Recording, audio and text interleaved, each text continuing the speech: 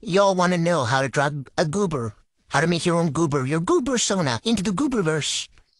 So it's time for the goober sona tutorial. The essentials of a goober is big, big empty eyes.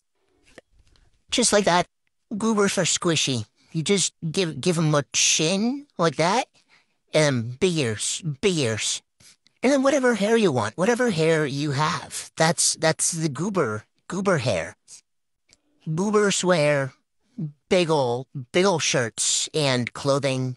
You just want big shape, big shape, no detail, and then tiny tiny peats, tiny peats. And that's how you draw goober. That's how you do your goober. That's your goober persona. I want to see hashtag